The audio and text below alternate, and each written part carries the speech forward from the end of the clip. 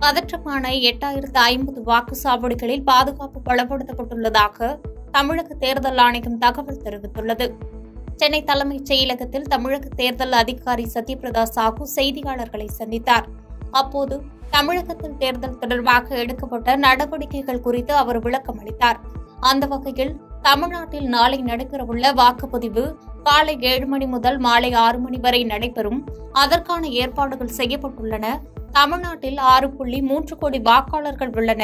தொள்ளாயிரத்து ஐம்பது வேட்பாளர்கள் களத்தில் உள்ள நிலையில் மூன்று லட்சத்து முப்பத்தி இரண்டாயிரம் தேர்தல் பணியாளர்கள் ஈடுபட உள்ளனர் என்று தெரிவித்தார். மேலும் பதற்றமான எட்டாயிரத்து ஐம்பது வாக்குச்சாவடிகளில் பாதுகாப்பு வளப்படுத்தப்பட்டுள்ளது என்று தெரிவித்த அவர் ரூபாய் நூற்று எழுபத்தி மூன்று புள்ளி ஐம்பத்தெட்டு கோடி பணம் ரூபாய் ஆறு புள்ளி அறுபத்தி ஏழு கோடி மதிப்புள்ள மதுபானம் பறிமுதல் செய்யப்பட்டுள்ளதாக தகவல் தெரிவித்தார். இதேபோன்று ரூபாய் ஆயிரத்து எண்பத்தி மூன்று கோடி மதிப்பிலான நகை மற்றும் பொருட்கள் பறிமுதல் செய்யப்பட்டுள்ளது. மேலும் வாக்காளர் அட்டை இல்லை என்றாலும் கூடுதலாக பன்னிரண்டு ஆவணங்களை காண்பித்து வாக்களிக்கலாம் என்று தெரிவித்துள்ளார். தமிழகத்தில் மக்களவைத் தேர்தலுக்கான வாக்குப்பதிவு நாளை நடைபெறவுள்ள நிலையில் வாக்குச்சாவடிகளுக்கு இயந்திரங்கள் கொண்டு செல்லும் பணிகள் தீவிரமாக நடைபெற்று வருகிறது. மொத்தமுள்ள முப்பத்தி ஒன்பது தொகுதிகளுக்கு அறுபத்தெட்டாயிரம் வாக்குச்சாவடிகள் அமைக்கப்பட்டுள்ளது.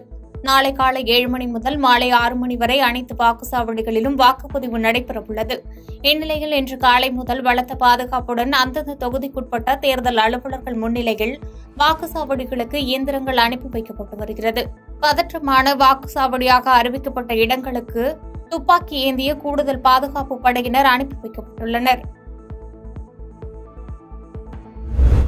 திருநெல்வேலி தொகுதி பாஜக வேட்பாளர் நைனா நாகேந்திரனின் உதவியாளர்களிடம் ரூபாய் நான்கு கோடி பணம் பறிமுதல் செய்யப்பட்ட வழக்கில் உரிய நடவடிக்கை எடுக்க தேர்தல் ஆணையத்திற்கு சென்னை உயர்நீதிமன்றம் உத்தரவிட்டுள்ளது. இந்த புகார் மனு சென்னை உயர்நீதிமன்றத்தில் இன்று விசாரணைக்கு வந்த நிலையில் நயினார் நாகேந்திரனை தகுதி நீக்கம் செய்யக்கோரி சென்னை உயர்நீதிமன்றத்தில் சுயேட்சை வேட்பாளர் தாக்கல் செய்த வழக்கு முடித்து வைக்கப்பட்டது. தனக்கு பழச்சாறில் விஷம் கலந்து கொடுக்கப்பட்டதாக நடிகரும் வேலூர் தொகுதி வேட்பாளருமான மன்சூர் அலிகான் பரபரப்பு அறிக்கை வெளியிட்டுள்ளார். இந்திய ஜனநாயக புலிகள் கட்சி தலைவரும் நடிகருமான மன்சூர் அலிகான் வேலூர் மக்களவைத் தொகுதியில் சுயேட்சையாக களமிறங்கியுள்ளார். அவருக்கு பலாப்பழ சின்னம் ஒதுக்கப்பட்டது.